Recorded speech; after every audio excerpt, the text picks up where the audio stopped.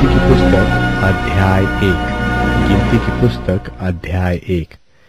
इसराइलियों की गिनती। इसराइलियों के मिस्र देश से निकल जाने के दूसरे वर्ष के दूसरे महीने के पहले दिन को यहोवा ने सीने के जंगल में मिलाप वाले तंबू में मूसा से कहा, इसराइलियों की सारी मंडली के कुलों और पितरों के घरानों के अनुसार एक एक पुरुष की गिनती नाम ले लेकर करना। जितने इसराइली बीस वर्ष व उससे अधिक अवस्था के हो,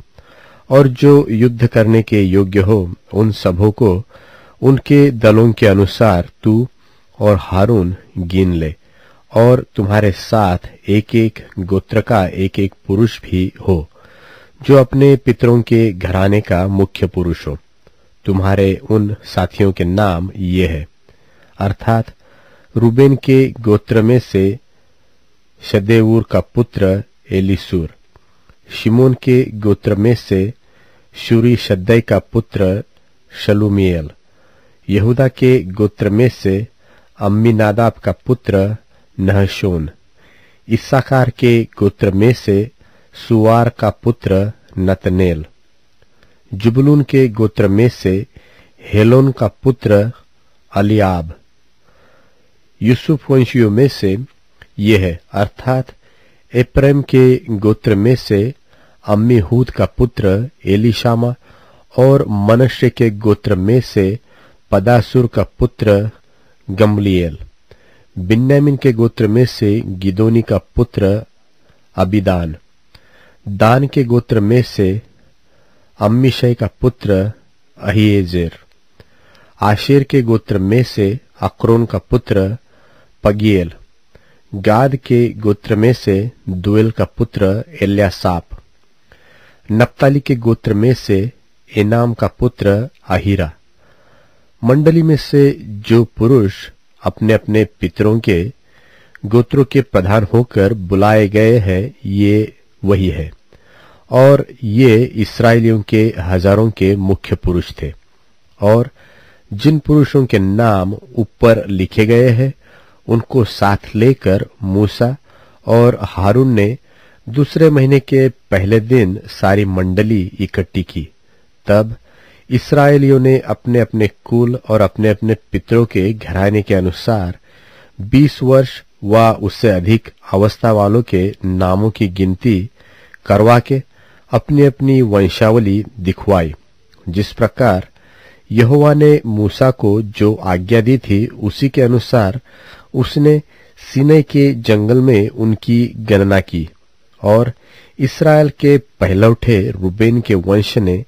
जितने पुरुष अपने कुल और अपने पितरों के घराने के अनुसार 20 वर्ष व उससे अधिक अवस्था के थे और जो युद्ध करने के योग्य थे, वे सब अपने अपने नाम से गिने गए और रूबेन के गोत्र के गिने हुए पुरुष साढ़े छियालीस हज़ार थे। और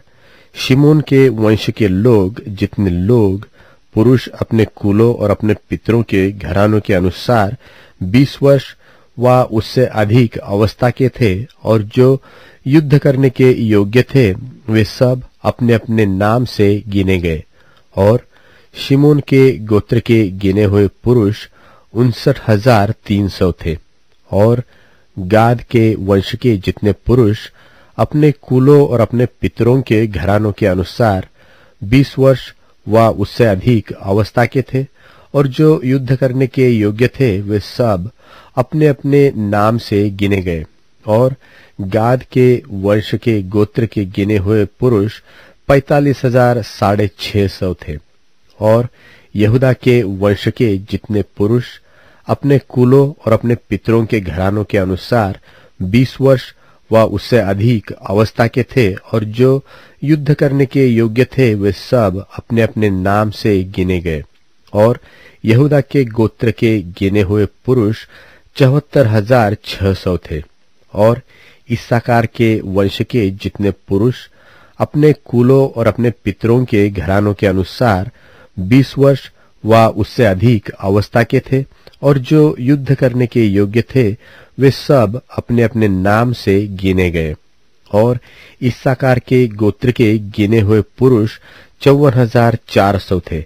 और जुबलून के वंश के जितने पुरुष अपने कुलों और अपने पितरों के घरानों के अनुसार बीस वर्ष व उससे अधिक अवस्था के थे और जो युद्ध करने के योग्य थे, वे सब अपने अपने नाम से गिने गए और जुबलून के गोत्र के गिने हुए पुरुष सत्तावन हज़ार चार सौ थे और यूसुफ के वंश में से एप्रेम के वंश के जितने पुरुष अपने कुलों और अपने पितरों के घरानों के अनुसार बीस वर्ष व उससे अधिक अवस्था के थे और जो युद्ध करने के योग्य थे, वे सब अपने अपने नाम से गिने गए और एप्रेम के गोत्र के गिने हुए पुरुष साढ़े चालीस हज़ार थे। और मनुष्य के वंश के जितने पुरुष अपने कुलों और अपने पितरों के घरानों के अनुसार बीस वर्ष व उससे अधिक अवस्था के थे और जो युद्ध करने के योग्य थे, वे सब अपने अपने नाम से गिने गए। और मनुष्य के गोत्र के गिने हुए पुरुष बत्तीस हज़ार दो सौ थे। और बिन्यामिन के वंश के जितने पुरुष अपने कुलों और अपने पितरों के घरानों के अनुसार बीस वर्ष व उससे अधिक अवस्था के थे और जो युद्ध करने के योग्य थे, वे सब अपने अपने नाम से गिने गए। और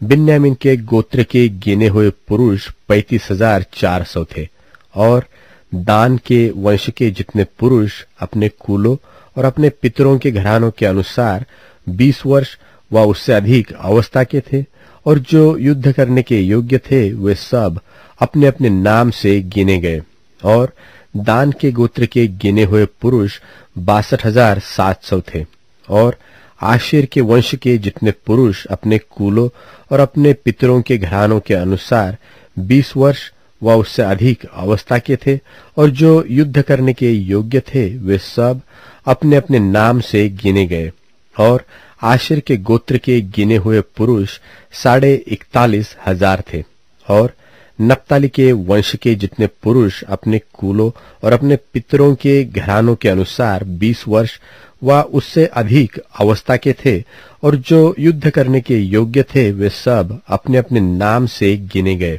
और नप्ताली के गोत्र के गिने हुए पुरुष तिरपन हज़ार चार सौ थे। इस प्रकार मूसा और हारून और इसराइल के बारह प्रधानों ने, जो अपने अपने पितरों के घराने के प्रधान थे, उन सबों को गिन लिया, और उनकी गिनती यही थी।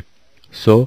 जितने इसराइली बीस वर्ष व उससे अधिक अवस्था के होने के कारण युद्ध करने के योग्य थे, वे अपने पितरों के घरानों के अनुसार गिने गए, और वे सब गिने हुए पुरुष मिलाकर छह लाख तीन हज़ार साढ़े पाँच सौ थे। इनमें लेवीय अपने पितरों के गोत्र के अनुसार नहीं गिने गए, क्योंकि यहोवा ने मूसा से कहा था कि लेवीय गोत्र की गिनती इसराइलियों के संग न करना, परंतु लेवियों को साक्षी के तंबू पर और उनके कुल सामान पर, निदान जो कुछ उससे संबंध रखता है उस पर अधिकारी नियुक्त करना, और कुल सामान सहित निवास को वे ही उठाया करे, और वे ही उसमें सेवा टहल भी किया करे, और तंबू के आसपास वे ही अपने डेरे डाला करे, और जब जब निवास का कूच हो, तब तब लेविय उसको गिरा दे, और जब जब निवास को खड़ा करना हो, तब तब लेविय उसको खड़ा किया करे, और यदि कोई दूसरा समीप आए तो वह मार डाला जाए। और इसराइली अपना अपना डेरा अपनी अपनी छावनी में और अपने अपने झंडे के पास खड़ा किया करे। पर लेविय अपने डेरे साक्षी के तंबू ही की चारों ओर खड़े किया करे। कहीं ऐसा न हो कि इसराइलियों की मंडली पर कोप भड़के और लेवीय साक्षी के तंबू की रक्षा किया करे। जो आज्ञाएँ यहोवा ने मूसा को दी थी इसराइलियों ने उन्हीं के अनुसार किया। इसराइली